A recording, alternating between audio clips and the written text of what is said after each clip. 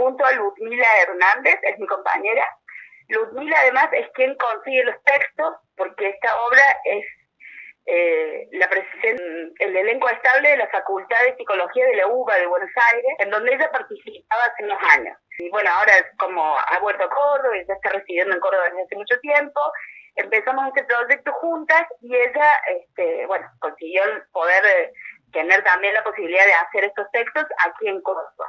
Bien, Marcela, ¿qué le podemos, qué podemos contar sin spoilear mucho para que la gente vaya el viernes? ¿En qué consiste la obra, la temática?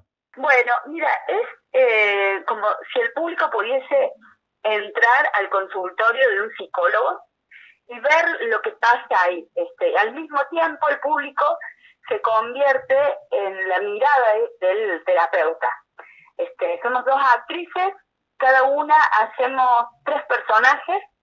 Este, entonces, entra una con un tópico, sale, entra la otra, mientras tanto nos preparamos. Así que es una obra muy linda para nosotros actuarla en, temas de cambios de vestuario, son personas muy diferentes. Yo, uno de mis personajes, por ejemplo, es, un varón. Entonces, a nivel actoral es súper eh, interesante.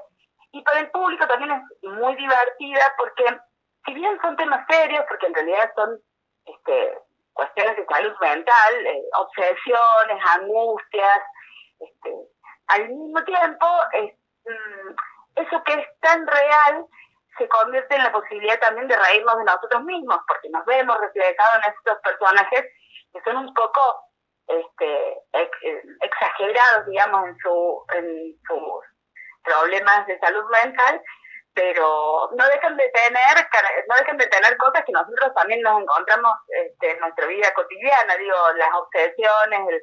Lo destacábamos recién, es un polo cultural y de este tipo de obras eh, diríamos que indispensable en, la zona. y contanos cómo se llega a la Nogalera, ¿no?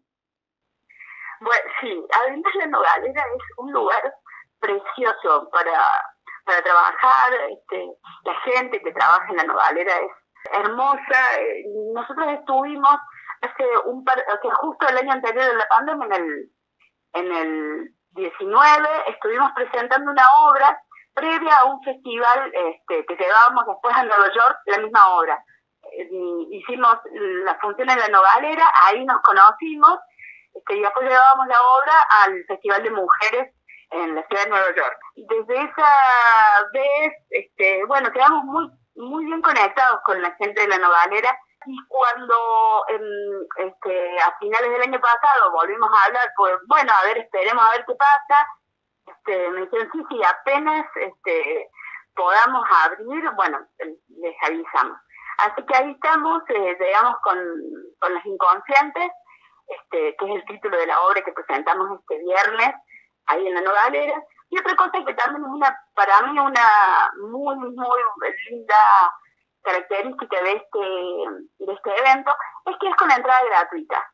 Este, así que mm, todos pueden ir, incluso gente de localidades cercanas a Vito Jardín también se puede entregar porque no tiene costo ir, o sea, no tiene costo entrar a ver el espectáculo y eso en estos tiempos me parece que está, está muy bueno. Nosotros eh, percibimos un pago, pero no a través de la entrada del público. Y, bueno, poder acceder a la cultura de esta manera me parece también algo muy, muy bueno. Es parte, digamos, de de una concepción que yo también comparto, la cultura es un derecho, es un derecho humano, así como también trabajar en cultura también tiene que ser un derecho, ¿no?